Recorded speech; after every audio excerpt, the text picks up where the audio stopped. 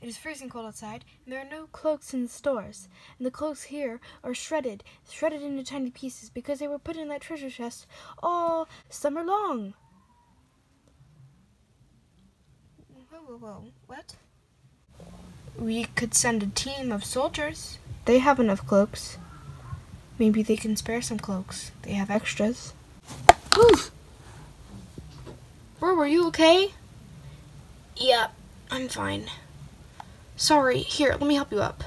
Thanks. You sure you're fine? Yep. Alright, well, I gotta go. See ya. Bye, bro.